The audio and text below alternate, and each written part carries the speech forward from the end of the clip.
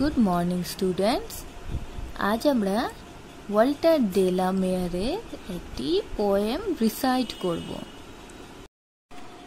let's recite the poem someone someone came knocking at my wee small door. Someone came knocking. I'm sure, sure, sure. I listened, I opened, I looked to left and right, but not there was a stirring in the still dark night. Only the busy beetle tap tapping in the wall. Only from the forest the screech owl's call. Only the cricket whistling while the dewdrops fall. So I know not who can be knocking at all, at all, at all. Walter Delamere. নিচে দেখো word meaning দেওয়া আছে কিছু, যেগুলো নতুন word সেগুলোর meaning দেওয়া আছে। দেখো, আমরা পড়ি। উই উই মানে ভেরি স্মল ইন সাইজ সাইজে খুব ছোট। নট মানে নাথিং স্টারিং মানে মুভিং মানে কোনো কিছু নড়াচড়া করছে। বিটল অ্যান্ড ইনসেক্ট একটি কীট পতঙ্গ।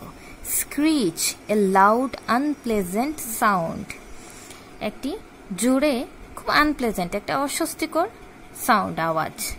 Cricket a small jumping insect that makes a loud sound একটি ছোট জাম্পিং ইনসেক্ট মানে ইনসেক্ট মানে পোকামাকড়।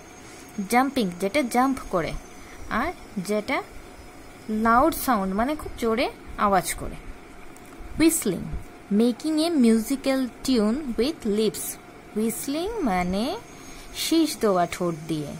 সিটি দেওয়া যেটাকে বলে dew a very small drop of water that falls on the ground dew হচ্ছে জলের খুব ছোট ফোঁটা যেটা মাটিতে পড়ে। এবার চলো আমরা এই পয়েমটার সামারি আমরা বুঝে নিই। এখানে কি হয়েছে? সামবান সামবান মানে কেউ একজন। কি হয়েছে? পোয়েটে পোয়েট হঠাৎ করে একটা দরজায় নকিং আওয়াজ পেলেন। নক করছে কেউ একজন।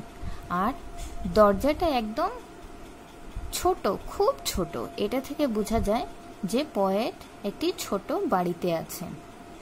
তো কেউ একজন ওনার দরজায় নক করেছে, এটা উনি একদম শিওর উনি শুনেছেন, উনি ওপেন করেছেন, খুলেছেন এদিক ওদিক তাকিয়েছেন, কিন্তু কেউ ছিল না। এই অন্ধকার শান্ত রাত্রে কেউ ছিল না, শুধু একটু মুভমেন্টের আওয়াজ পেয়েছেন। কেউ যেন নড়াচড়া করছে। কি ছিল? অনলি দ্য বিজি বিটল পোকামাকড়ের আওয়াজ, যেগুলো ওয়াল বেয়ে হাঁটছে। আর কি? ফরেস্ট থেকে কার আওয়াজ আসছে?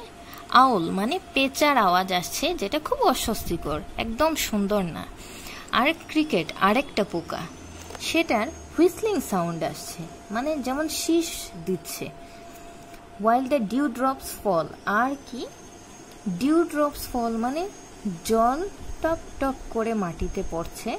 বাস সেইগুলোরই আওয়াজ শুনতে পাচ্ছেন। কিন্তু সেখানে উনি কাউকে দেখতে পেলেন না। কিন্তু এই আওয়াজগুলোর সাথে দরজায় যে নক করার আওয়াজ, উনি সেটার কোনো মিল খুঁজে পাচ্ছেন না।